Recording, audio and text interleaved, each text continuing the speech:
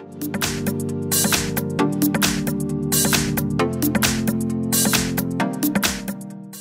Hi everyone, in front of me I've got Xiaomi 11T Pro and let me share with you how to uh, change the keyboard language on this device. So first of all let's open the keyboard, for example in messages it doesn't really matter, just open it. And if you've got the um, keyboard on the screen we can enter the settings, so simply tap on this icon. If you cannot find the uh, settings icon for some reason uh, in this area, no worries, just tap on the three dots icon and you will be able to find the settings right here, just tap on it, hold it and then you'll be able to drag it uh, right here but um, since I've got the settings let me just tap on them and uh, we have to enter the languages. And as you can see this is the list of languages we just um, we just added. We've got applied and we've got only English so let's tap on add language. And as you can see we've been transferred the full full full full full list of all available languages from which we can choose.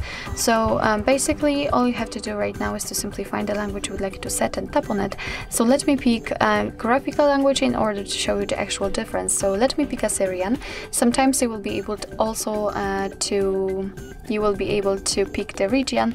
So let's just tap on what the one you would like to set and tap on done and as you can see it has been immediately applied to the list. So let's get back to the keyboard and check.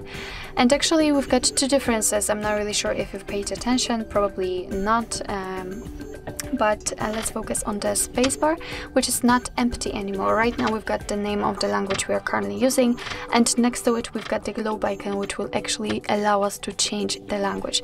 So right now I'm freely typing English but after tapping on the globe icon and I was of course a misclick I can switch to the Assyrian one which I've just applied after tapping on it again we've got the English. So uh, actually this is it. This is how to add the language to a keyboard. And now let me show you how to remove it. So let's go back to the languages tap on this uh, edit icon and mark the language you'd like to remove.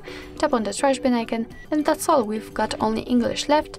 And after getting back you can see that, this, that the keyboard just got back to its uh, very, uh, very first uh, stage on this video. So actually this is it. This is how to change keyboard language in your Xiaomi 11T Pro.